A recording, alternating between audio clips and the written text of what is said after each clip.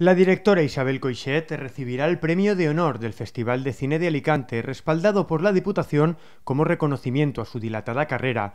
La entrega tendrá lugar mañana en el ADA. Coixet ha destacado que era una cita a la que no podía faltar. El año pasado rodé, no rodé en Alicante, aunque estuvimos localizando aquí.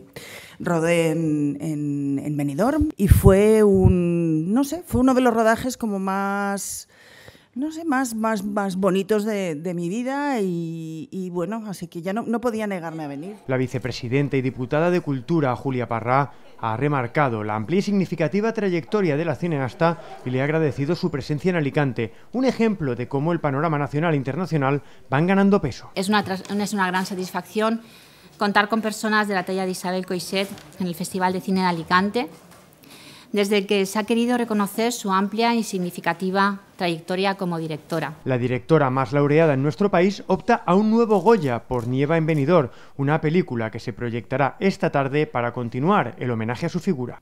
El festival en varias ocasiones hemos intentado contactar con ella para que viniera, pero bueno, tiene una agenda súper apretada.